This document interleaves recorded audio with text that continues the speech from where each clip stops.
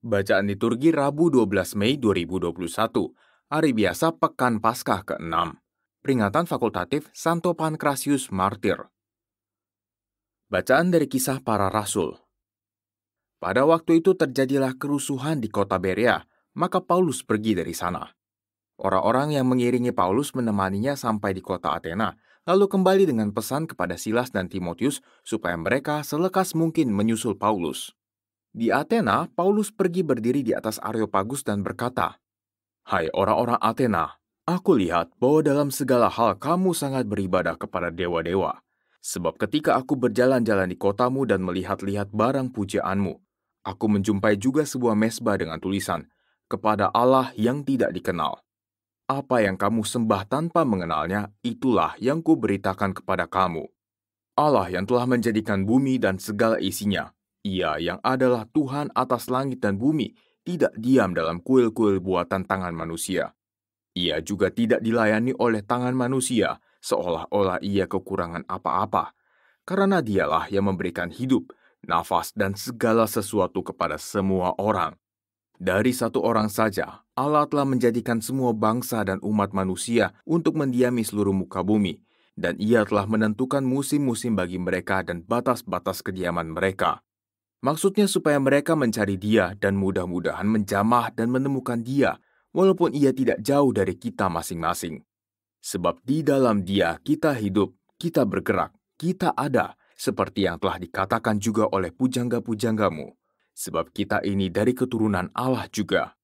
Karena kita berasal dari keturunan Allah, kita tidak boleh berpikir bahwa keadaan ilahi sama seperti emas atau perak atau batu, ciptaan kesenian dan keahlian manusia. Dengan tidak memandang lagi zaman kebodohan, maka sekarang Allah memberitakan kepada manusia bahwa di mana-mana mereka semua harus bertobat, karena ia telah menetapkan suatu hari pada waktu mana ia dengan adil akan menghakimi dunia dengan perantaraan seorang yang telah ditentukannya, sesudah ia memberikan kepada semua orang suatu bukti tentang hal itu dengan membangkitkan orang itu dari antara orang mati. Ketika mereka mendengar tentang kebangkitan orang mati, maka ada yang mengejek dan yang lain berkata, Lain kali saja kami mendengar engkau berbicara tentang hal itu. Lalu Paulus pergi meninggalkan mereka. Tetapi beberapa orang laki-laki menggabungkan diri dengan dia dan menjadi percaya, di antaranya juga Dionysius, anggota majelis Areopagus, dan seorang perempuan bernama Damaris, dan juga orang-orang lain bersama-sama dengan mereka.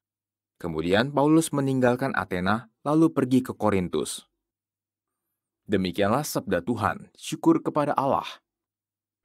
Mazmur tanggapan, Surga dan bumi penuh dengan kemuliaanmu, surga dan bumi penuh dengan kemuliaanmu.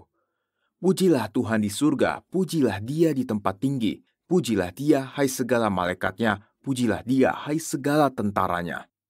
Surga dan bumi penuh dengan kemuliaanmu. Pujilah Tuhan hai raja-raja di bumi dan segala bangsa, pembesar-pembesar dan semua pemerintah dunia. Pujilah Tuhan hai teruna dan anak-anak darah, orang tua dan orang muda.